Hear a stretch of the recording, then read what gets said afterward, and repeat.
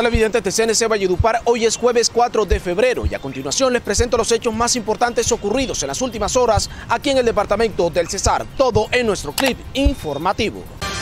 El Hospital Eduardo Arredondo Daza recibió la visita del enlace territorial del Ministerio de Salud para la planeación del proceso de vacunación de COVID en Valledupar. Más o menos esto está pensado para que arranque del 21 de febrero en adelante. Con preocupación e incertidumbre recibieron los empleados de Prodeco la devolución de los títulos mineros en el departamento del Cesar. Tomó posesión como nueva directora seccional de Fiscalías en el Cesar María Candelaria Montero Monsalvo. Vengo desarrollando mi labor desde hace casi 25 años en la Fiscalía General de la Nación. Argenida Ospino, madre del soldado cesarense secuestrado en la zona del Catatumbo, Johnny Castillo Ospino, pide a sus captores que le respeten la vida y que liberen pronto a su hijo.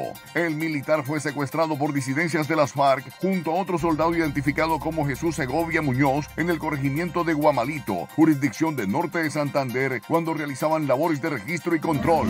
Por favor, señores, respétame la vida a mi hijo él apenas era un, un soldado raso que estaba apenas empezando. Por favor, no me le hagan daño, se lo suplico.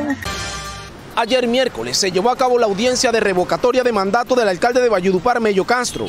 En su intervención, el mandatario aseguró que durante el 2020 la pandemia por el COVID-19 no permitió desarrollar a cabalidad la gestión como alcalde. No obstante, destacó que la administración municipal ha sabido enfrentar la emergencia sanitaria al punto de ubicar a Valledupar como uno de los municipios con menor letalidad por COVID-19 y con una ocupación actual del 42% en camas UCI. Las autoridades del pueblo indígena Cancuamo denunciaron públicamente las sistemáticas amenazas que se vienen realizando en contra del gobernador Jaime Luis Arias Ramírez y otras autoridades cancuamas.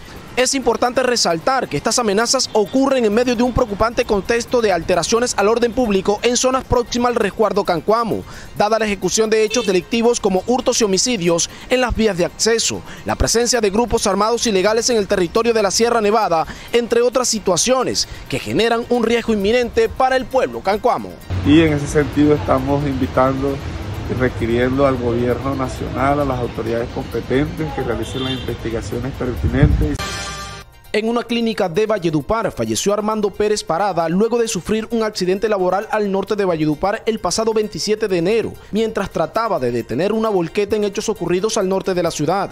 A la víctima le amputaron la pierna derecha, pero luego de sufrir complicaciones perdió la vida. Cuatro días después de sufrir un accidente de tránsito murió en una clínica de la capital del Cesar Álvaro Escorcia Algarín de 32 años. La víctima se transportaba como parrillero en una motocicleta y sufrió graves heridas tras colisionar con otro vehículo similar en la avenida Simón Bolívar. El conductor de un tracto camión perdió la vida luego de un accidente de tránsito ocurrido la noche de ayer en la vía La Mata San Roque en jurisdicción del municipio de Curumaní. La víctima, identificada como Joan Acosta, de 38 años, falleció luego de que el vehículo de carga pesada se volcara. De acuerdo a las hipótesis de las autoridades de tránsito, la causa del percance vial sería falta de precaución al transitar por parte de la víctima. Un aguachiquense fue capturado por la Policía Nacional tras asestar un duro golpe a las finanzas del narcotráfico en Sucre. Se trata de Oscar Castillo San Juan, a quien le incautaron 232 paquetes de clorhidrato de cocaína. De acuerdo con la información obtenida por la Policía Nacional, la droga incautada procedente de Aguachica Cesar y destino final Centroamérica era camuflada en un vehículo tipo camión de estacas con placas TAX 193 que la transportaba en modalidad de caleta oculta en la parte superior del techo bajo la fachada de transporte de bultos de frijoles tiene un valor aproximado en Colombia de 1.392 millones de pesos y en el exterior de 7 mil millones de dólares.